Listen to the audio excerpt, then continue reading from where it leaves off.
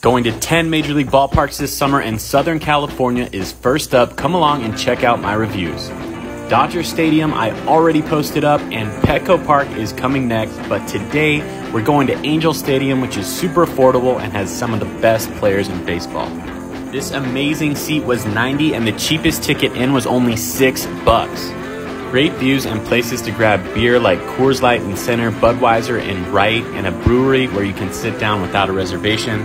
Best part is catching three-time MVP Mike Trout. Nice take, Mike. And Shohei Ohtani. Nice take, Shohei. Dinner was solid, but not a ton of options. Overall rating 6 out of 10 for food. My overall rating for Angel Stadium is a 7 out of 10. Affordable, good atmosphere, relaxing place to watch baseball. Follow along for more on Angel Stadium and the 10 parks I'm reviewing this summer. See you there.